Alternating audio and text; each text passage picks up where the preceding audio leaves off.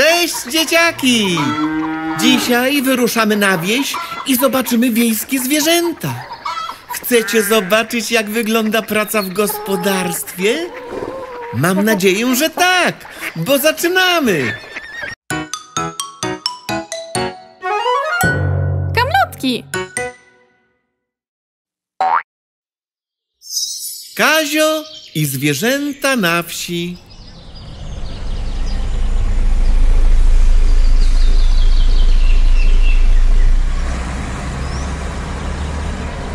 Jesteśmy na miejscu. Jak to ładnie! Co to za miejsce, mamo? To moja rodzinna wieś. W tym miejscu się wychowałam. Chodź, Kaziu, pokażę ci dom, w którym kiedyś mieszkałam.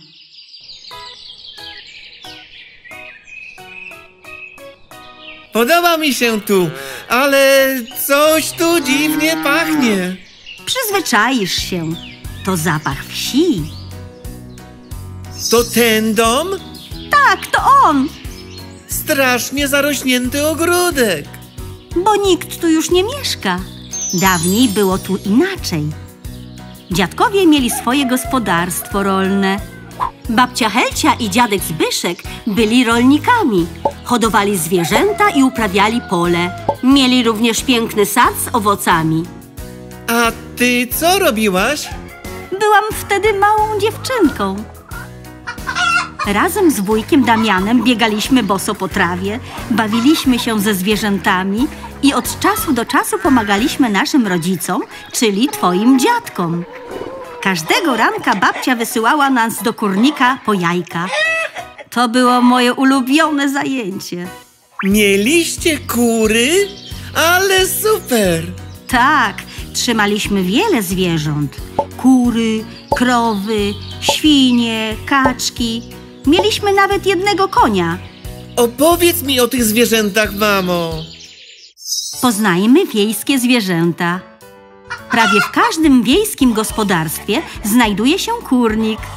Kurnik to miejsce, w którym mieszkają kury. Są one bardzo pożyteczne dla ludzi, ponieważ jajka, które znoszą, są jednym z najzdrowszych i najsmaczniejszych produktów, jakie można znaleźć. Kury lubią rozkopywać nogą ziemię w poszukiwaniu jedzenia. Kogut też mieszka w kurniku. To samiec kury, który stoi na czele swojego kurzego stada. Broni go przed drapieżnikami. Koguty znane są z tego, że pieją z samego rana, budząc wszystkich domowników. Dawniej kogut zastępował ludziom budzik.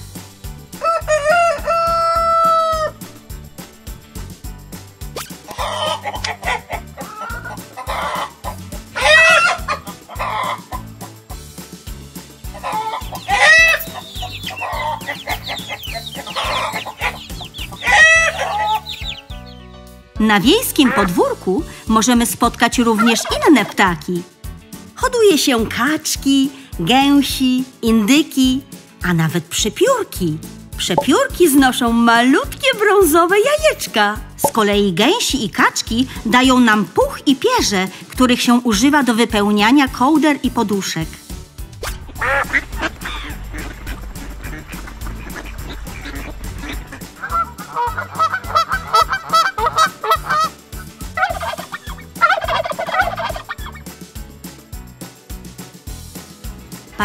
Się łaciate krowy to popularny widok na polskich wsiach.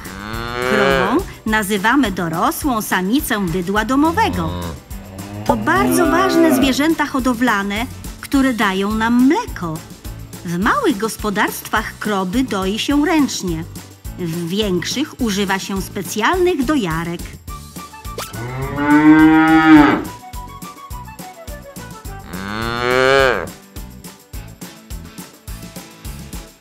Konie to przepiękne zwierzęta, które dawniej wykorzystywano do pracy na roli. Dzisiaj konie hoduje się w celach sportowych i rekreacyjnych. Jazda konna to ciekawa aktywność fizyczna, podczas której mamy okazję obcować z tym niesamowitym zwierzęciem. Konie żyją w stajni. W niektórych gospodarstwach trzyma się osły. Wykorzystuje się je w transporcie lub jako zwierzęta juczne, czyli przeznaczone do noszenia ciężarów.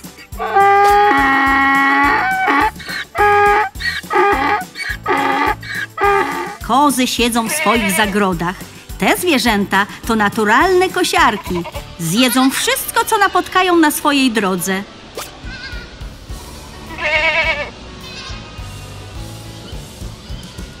Obok nich odpoczywają owce. Z owiec uzyskujemy wełnę, której używa się do produkcji odzieży, kocy czy dywanów.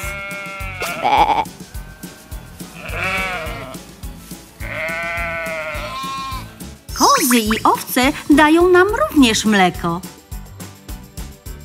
Kolejnym mieszkańcem naszego gospodarstwa jest świnia. Świnki mieszkają w chlewie. To bardzo spokojne zwierzęta i wbrew pozorom lubią czystość. Mają dobry węch i są wszystkożerne. Okrągły nos, zwany potocznie ryjkiem, pozwala im swobodnie grzebać w ziemi. Świnie hoduje się głównie ze względu na ich mięso. Mięso pozyskuje się również od innych zwierząt gospodarskich. Na wsiach hoduje się pszczoły. To bardzo pożyteczne owady, które zapylają kwiaty. Buduje się specjalne ule, z których łatwo pozyskiwać miód. Teren z ustawionymi ulami nazywamy pasieką, a hodowca pszczół to pszczelarz. Oprócz miodu pszczoły dają również wosk, z którego wytwarza się świece, środki czystości, a nawet leki. W gospodarstwie nie może również zabraknąć psa.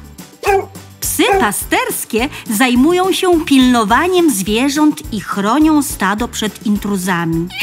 Dawniej każdy mieszkaniec wsi trzymał kota, który polował na szkodniki, takie jak myszy. A teraz powtórzmy sobie nazwy zwierząt i poznajmy ich rodziny. Koń. Mama to klacz. Tata to ogier. A ich dziecko to źrebię. Krowa. Mama to krowa. Tata to byk. A ich dziecko to cielę. Świnia. Mama to maciorka. Tata to knur. A ich dziecko to prosię. Koza. Mama to koza. Tata to kozioł. A ich dziecko to koźlę. Owca. Mama to maciorka. Tata to baran. A ich dziecko to jagnię. Kura. Mama to kura. Tata to kogut. A ich dziecko to kurczątko. Kaczka. Mama to kaczka. Tata to kaczor. A ich dziecko to kaczątko. Gęś. Mama to gęś. Tata to gąsior. A ich dziecko to gąsiątko. Indyk. Mama to indyczka. Tata to indor. A ich dziecko to indyczek. Pięknie, Kaziu. A wiesz, jakie produkty otrzymujemy od wiejskich zwierząt? Kury dają nam jajka. Jajka otrzymujemy również od innych ptaków, na przykład od kaczek i przepiórek. Gęsi i kaczki dają puch i pierze, którymi wypełnia się na przykład poduszki. Owce dają wełnę. Wełna jest bardzo ważna, ponieważ służy do produkcji ubrań.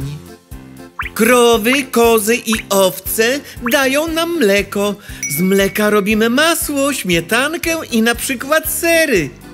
Z mleka koziego można zrobić ser kozi, a z mleka owczego produkuje się oscypki. Świnia daje nam mięso zwane wieprzowiną. Mięso możemy również otrzymać od innych zwierząt, na przykład od krów mamy wołowinę. Dzięki kurom, kaczkom i indykom mamy mięso drobiowe. Brawo, Kaziu! Mam dla ciebie niespodziankę. O, a co to takiego? Pójdziemy na farmę mojego przyjaciela z dzieciństwa. Zobaczysz, jak się żyje na wsi. Wow, dziękuję mamusiu.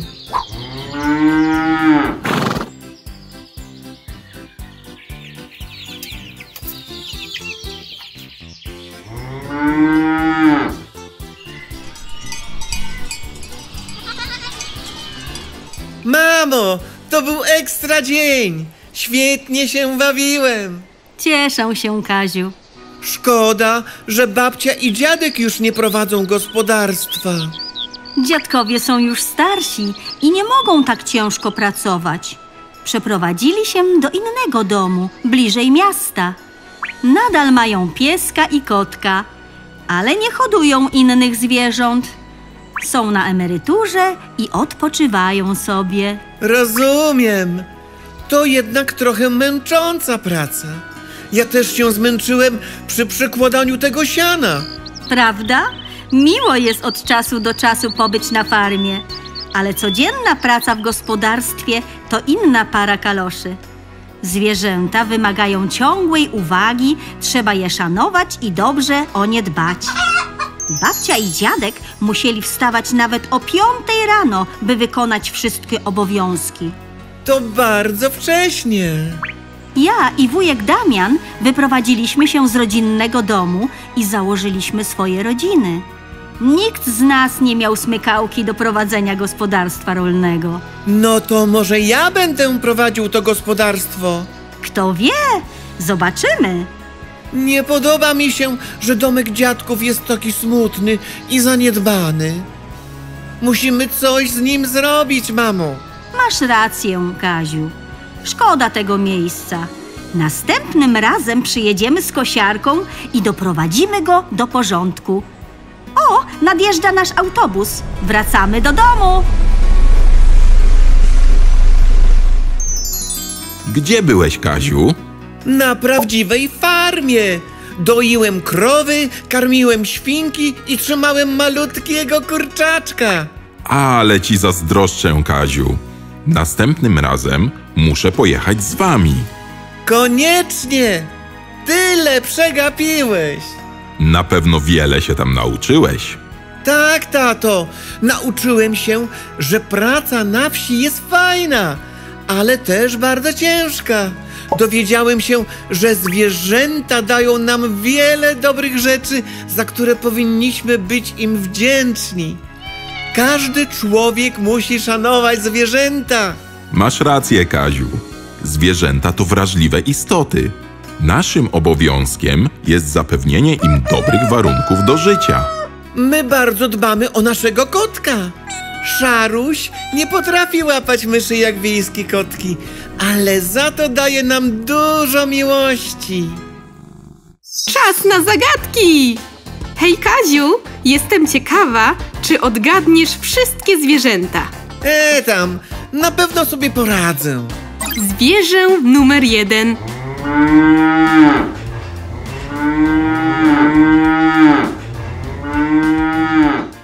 To krowa.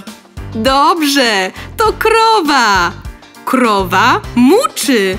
Mu! Zwierzę numer dwa.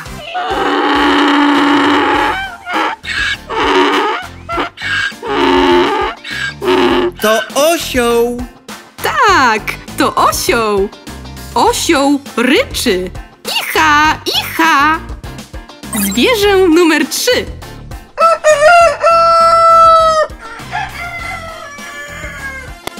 To kogut! Masz rację! To kogut! Kogut pieje! Kukuryku! Zwierzę numer cztery.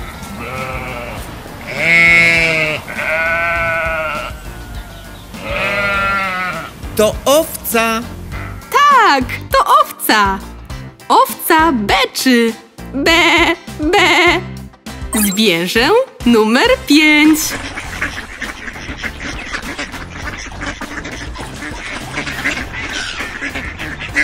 To kaczka! Kaczka, zgadza się. Kaczka kwacze. Kwa, kwa. Zwierzę numer sześć.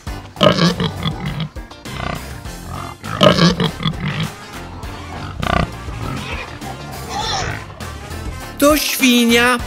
Tak, to świnia. Świnia chrumka. Chrum, chrum. Zwierzę numer siedem.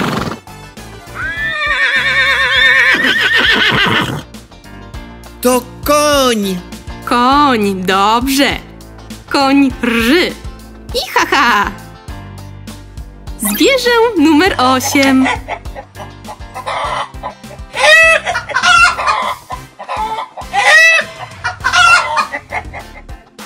To kura!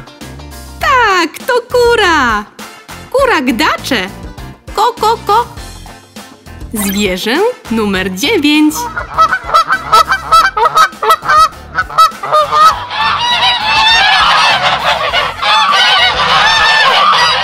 To jest gęś!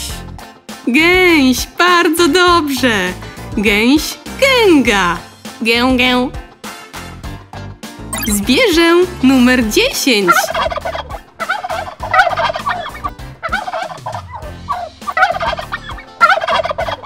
To indyk! Zgadłeś, to indyk. Indyk gulgocze. Gul, gul, gul. Zwierzę numer jedenaście.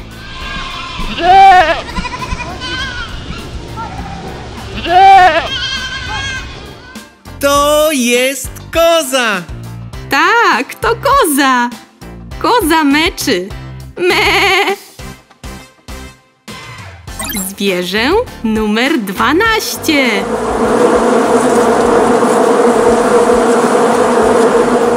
To pszczoła! Masz rację, to pszczoła. Pszczoła bzyczy. Bzz. Brawo, nieźle się spisałeś.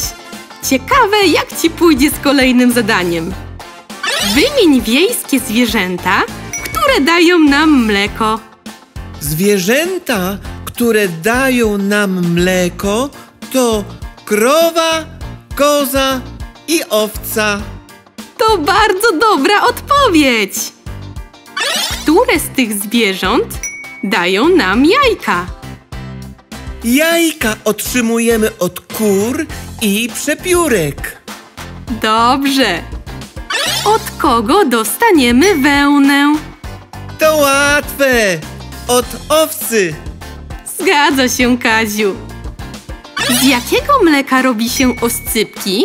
Z krowiego? Owczego? A może z koziego? Prawdziwe oscypki robi się z mleka owczego. Dobrze. Co produkuje nam pszczoła? Pszczoła produkuje miód i wosk. Tak, to prawda. Brawo! Zdałeś ten test bezbłędnie. A wam jak poszło? Wciśnijcie przycisk subskrybuj, aby nie przegapić nowych filmów. Do zobaczenia! Kamlotki. O, jak fajnie, że jesteście! Dzisiaj będziemy rysować i bawić się kolorami. Lubicie kolorowanki? Bo ja uwielbiam kolorować. Jestem bardzo ciekawy, jaki jest wasz ulubiony kolor. Zapraszam na film o kredkach i kolorach. Kamlotki. Kazio i kredki. Mamo, nudzę się. Może porysujemy razem? Później, Kaziu. Muszę rozwiesić pranie. No dobrze, porysuję sam. A gdzie się podziały moje kredki? Tam są. Zobacz, leżą na ziemi. Pozbieraj je proszę z podłogi. Ale te kredki są już nieładne i połamane. Kupisz mi inne? Przecież dopiero co je kupiłam. Kaziu, musisz dbać o swoje rzeczy. Kredki są delikatne. Czasami mogą się złamać, ale nawet gdy tak się stanie, nadal możemy nimi rysować. Zobacz, wystarczy je naostrzyć temperówką. O, prawie jak nowe. Ta czerwona jest teraz taka śmieszna i malutka. Po skończonej zabawie kredki odkładamy na swoje miejsce. Czerwona, pomarańczowa, żółta, zielona, niebieska, granatowa i fioletowa. Cała tęcza. Jeszcze jest różowa, czarna, brązowa, biała i szara. A teraz weź je wszystkie i narysuj mi coś ładnego.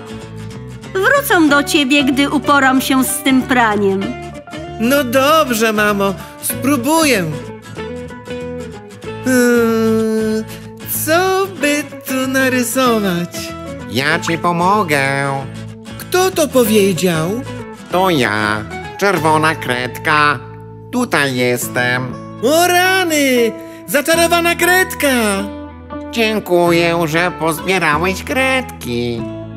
Nie zostawiaj nas na podłodze, bo wtedy nam smutno i czujemy się porzucone.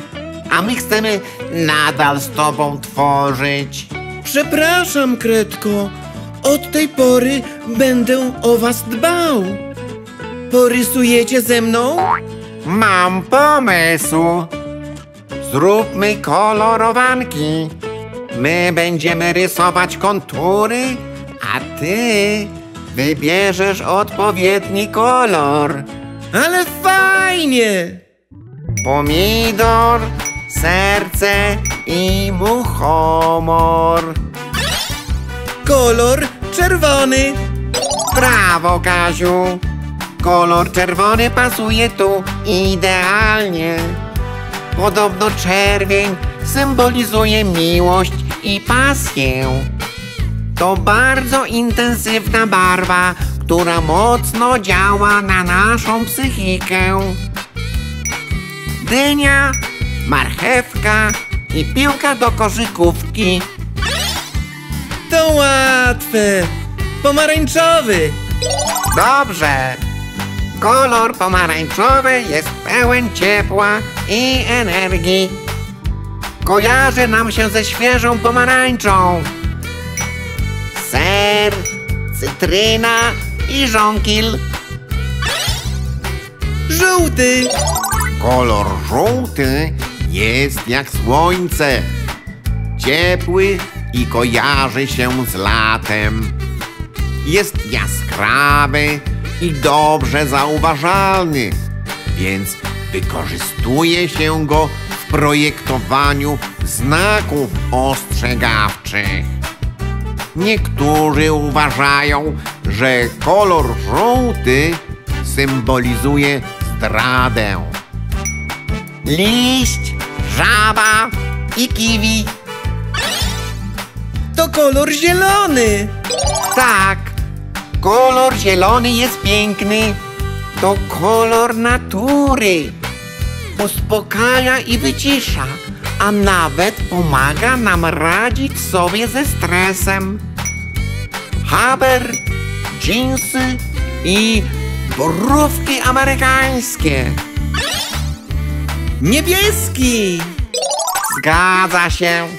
Niebieski to kolor nieba i wody, kolor życia. Jest symbolem czystości i spokoju.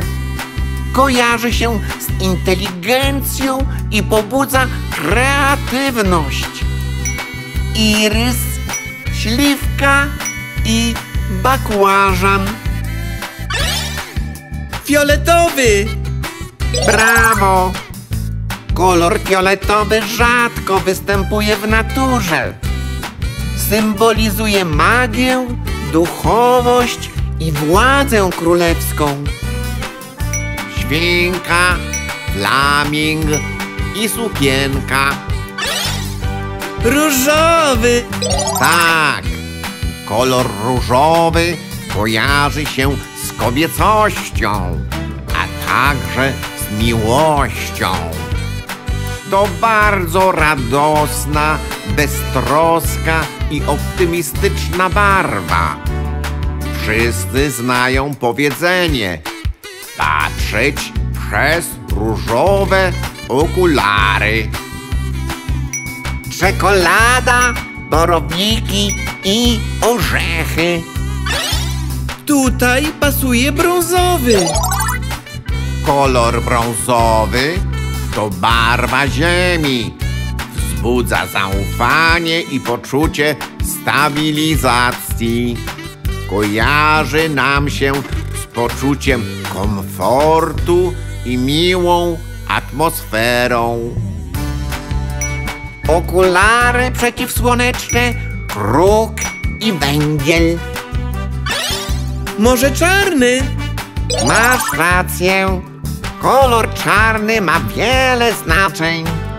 W wielu kulturach jest symbolem smutku i żałoby. Czerń kojarzy się również z luksusem i elegancją. Foka, kamień i wilk. Chyba szary. Dobrze, Kaziu. Kolor szary oznacza harmonię, poczucie bezpieczeństwa i spokój. Czasami kojarzy się ze starszym wiekiem. Symbolizuje doświadczenie i mądrość życiową. Łabędź, szklanka mleka i twaróg. Kolor biały! Tak! Kolor biały to najjaśniejsza z barw. Symbolizuje czystość, szlachetność i świeżość. Kojarzy się z młodością i niewinnością. To już wszystkie kolory na dziś. A wiesz, że kredki nie służą tylko do kolorowanek? Naszą pomocą możesz stworzyć piękne dzieła. Naprawdę? Ja też mogę tak ładnie rysować? Oczywiście, na kartce wszystko jest możliwe. Wystarczy, że użyjesz swojej wyobraźni. A jak mi nie wyjdzie?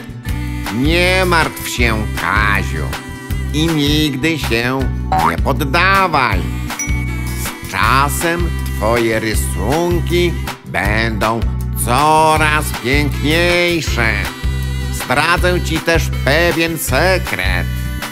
Najwięksi artyści uczyli się rysunku poprzez obserwację natury, ale o tym opowiem ci kiedy indziej. Dziękuję, Kredko. Spróbuję narysować moje ulubione zabawki. I obiecuję, że już zawsze będę dbał o kredki. Do zobaczenia. Kamlotki. Bezpieczeństwo nad wodą. Wakacje nad morzem. Wakacje nad morzem to niezapomniana przygoda. Jedziecie w tym roku nad morze? W takim razie opowiem Wam dzisiaj o kilku ważnych zasadach, o których należy pamiętać, gdy jesteście nad morzem. Zaczynamy! Nawet taki łobuziak jak ja wie, że nie wolno wchodzić do wody bez pozwolenia rodziców. Bawimy się blisko brzegu i zawsze w towarzystwie mamy lub taty. do wody wchodzimy ostrożnie. Nie wbiegamy do morza, nawet gdy wydaje nam się, że woda jest płytka.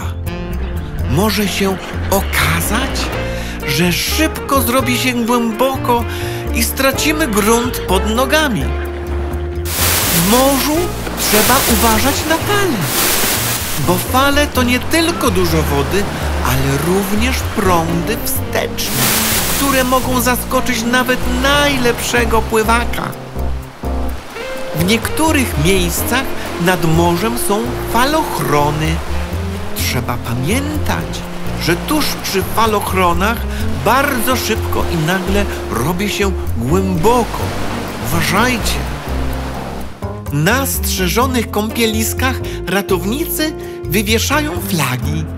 Biała flaga oznacza, że kąpiel jest dozwolona. Jeżeli flaga jest czerwona, bezwzględnie nie wolno się kąpać. Może to na przykład oznaczać, że są w tej chwili bardzo niebezpieczne fale lub to, że woda jest zanieczyszczona. Pamiętajcie, że nad morzem wypoczywa wielu ludzi. Jeżeli się zapomnisz, możesz łatwo zgubić się w tłumie. Pamiętajcie, by zawsze mieć swoich rodziców w zasięgu wzroku. Jeśli się zgubisz, nie panikuj i poproś ratownika o pomoc. Nad morzem szczególnie trzeba pamiętać o kremie do opalania. Na plaży często wieje silny wiatr i wydaje nam się, że jest chłodno. Podczas gdy słońce cały czas świeci i naraża nas na poparzenia. Krem z filtrem przeciwsłonecznym chroni nas przed słońcem, a na głowę warto założyć czapkę, która będzie stanowiła dodatkową ochronę. Pamiętajcie o piciu napojów. W upale nasz organizm bardzo szybko się odwadnia. Jeżeli czujesz się słabo i męczy cię gorące słońce, powiedz o tym rodzicom. Odpocznijcie w cieniu i napijcie się wody. Być może jest to sygnał, że należy przerwać zabawę i zakończyć plażowanie. Mam nadzieję, że wszystko zapamiętaliście i wraz z moimi wskazówkami będziecie się świetnie bawić nad wodą. Udanego wypoczynku!